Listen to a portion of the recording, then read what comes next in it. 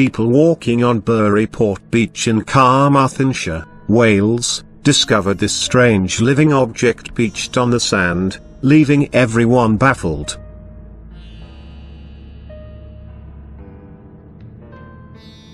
The giant object, which is covered in barnacles and shells, has sparked much confusion as people don't have a clue what it is.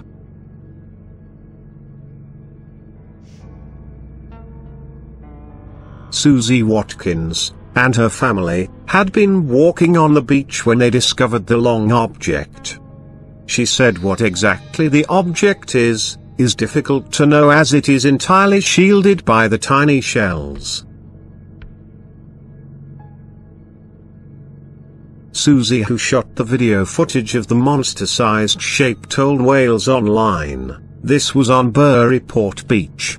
There are worm-like creatures coming out of the shells.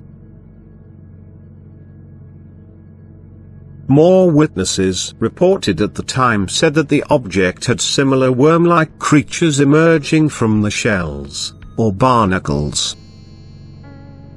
Speculation over the object suggested it could have been part of a shipwreck, or driftwood which had become overrun by a species of gooseneck barnacles called Lepas anatifera.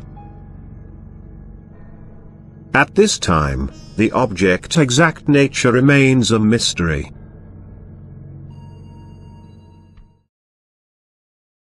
I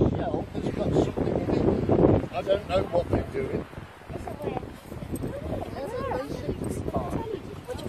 I don't know what to make of it. It's unbelievable. Well, you can say, oh, they're mussels, but mussels aren't like that.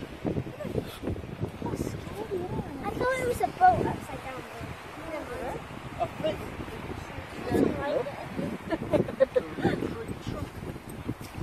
Yeah. And they're all attached to it.